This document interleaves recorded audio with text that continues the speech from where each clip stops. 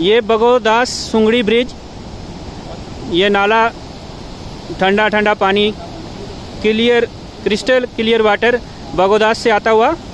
तो हमारे साथ principal sir H S S H S S Chana, Ranjit sir तो ये वाला रास्ता सीधा बगोदास जाता हुआ, मंजी कोट, बागन कोट, डंडा कोट, ये पराला कोट की पहाड़ियाँ, उसके बाद आपके सामने ये चाना।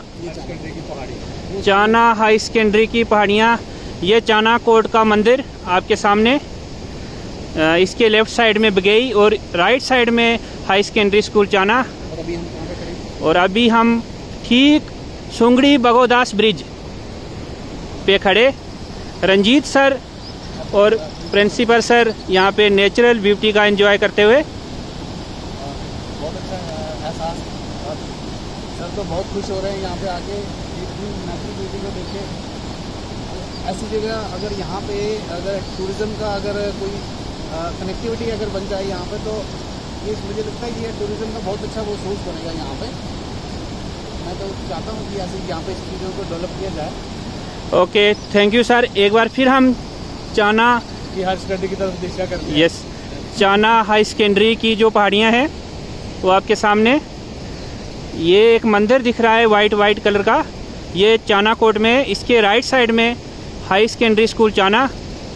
काफ़ी दिल कश मंज़र तो सर, आप कैसा महसूस कर रहे हो? मैं बहुत अच्छा महसूस कर रहा हूँ। ये मेरी खुशकस्मती है कि मैं चाहे बाइंडिंग से आया हूँ, लेकिन ऐसी चीज़ें मेरे को देखने को मिल रही है। शायद ये मेरी ज़िंदगी की थोड़ी सी अधूरी से जो अरमान थे, वो भी पूरे होने जा रहे हैं। फिर मैं इन किसी बाइंडिंग से आया हूँ और फिर भी देख रहा हूँ और इन्जॉय कर रहा हूँ। शायद ये ऊपर वाले को मंजूर था कि आपने अभी कुछ और भी देखना है, जो मैं नहीं देख पा रहा था, लेकिन मजबूरी की वजह से भगवान ने ऊपर वाले ने मेरे को दिखा दिया कि आप देखिए, अभी कुछ आपको और भी देखना बाकी है। मेरे ख्याल में वो दिखा के ही रहेंगे।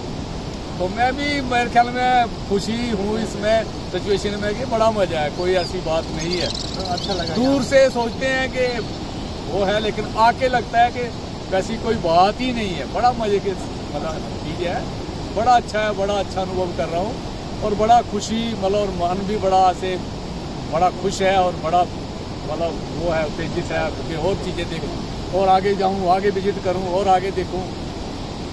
Thank you very much sir Ranjit sir thank you thank